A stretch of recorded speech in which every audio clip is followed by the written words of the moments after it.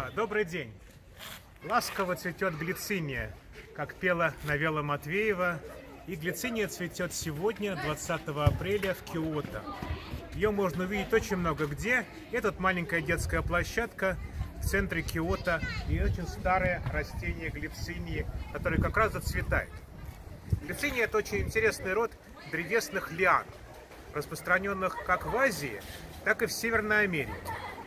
Отсюда интересная история про название глициния. По-русски называется глициния, а по латыни и во многих других языках называется вистерия. Это связано с тем, что сначала Линней отнес глицинию к роду соя, глицина. И, конечно же, после Линнея обнаружилось, что это растение не похоже на сою. На самом деле похож практически только цвет цветков, такой темно-фиолетовый ее решили перенести в отдельный род. Причем в отдельный род перенесли американский вид, потому что глициний растет не только в Азии, но и в Америке. Это называется восточноазиатская, восточно-североамериканская дизъюнкция, когда растения бывают на востоке Азии и на востоке Северной Америки. Так вот, американский вид выделили в особый род – вистерия, в честь Вистера. Опять же, странная история, почему э, в честь Вистара, а растение называется Вистерия. Но так и до сих пор непонятно. И растение называется Вистерия.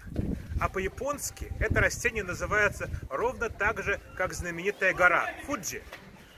А видов у вистерии, глицинии или фуджи несколько, и в Японии чаще всего культивируют китайскую или японскую. Вот это, на мой взгляд, китайская глициния Вистерия синензис. Растение, у которого довольно короткие листочки и не очень длинные кисти цветков.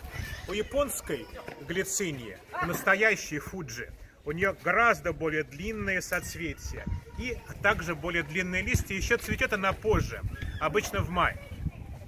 Вот наряду с красотой ее, с пахнущими красивыми цветками, у глицинии есть, как сказать, темные стороны. Во-первых, посмотрите на ствол. Ствол плоский. Это потому, что глициния – это лиана-душитель.